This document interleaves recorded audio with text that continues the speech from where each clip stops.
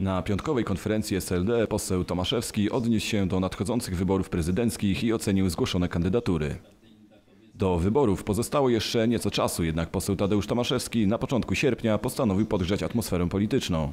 Na konferencji poruszył on m.in. temat kandydatury Krzysztofa Ostrowskiego oraz Jacka Kowalskiego. Stwierdził także, że Krzysztof Ostrowski został wybrany na kandydata przez Jarosława Kaczyńskiego i namaszczony z góry, podczas gdy Jacka Kowalskiego wybrały lokalne struktury SLD. Szanowni Państwo, pan Jacek Kowalski, pan prezydent Jacek Kowalski został zgłoszony przez mieszkańców Gniezna i powiatu gnieźnieńskiego zrzeszonych w strukturach Sojuszu Lewicy Demokratycznej.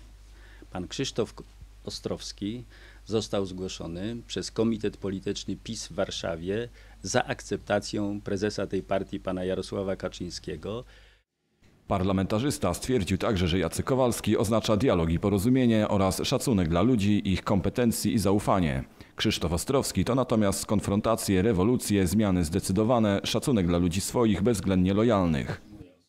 To będzie kandydat, który będzie wnosił nowe elementy e, w kampanii, te nowe elementy programowe związane z zarządzaniem miasta.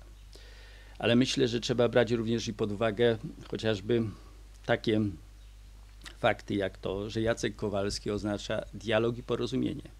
Krzysztof Ostrowski konfrontację i rewolucję. Jacek Kowalski to szacunek dla ludzi, ich kompetencji i zaufanie dla ludzi.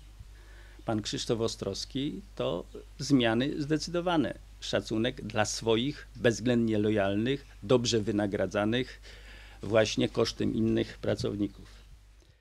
Parlamentarzysta dodał także, Natomiast drugi problem to jest problem oczywiście oceny samego kandydata. Jak wspomniałem, to jest osoba z dużym doświadczeniem samorządowych. Nie należy w żadnym wypadku lekceważyć tego kandydata. Do wyborów prezydenckich zostało jeszcze nieco czasu, jednak SLD mimo wakacyjnej pory podgrzało już atmosferę. Miejmy nadzieję, że kampania wyborcza będzie w tym roku merytoryczna, a nie oparta wyłącznie na emocjach.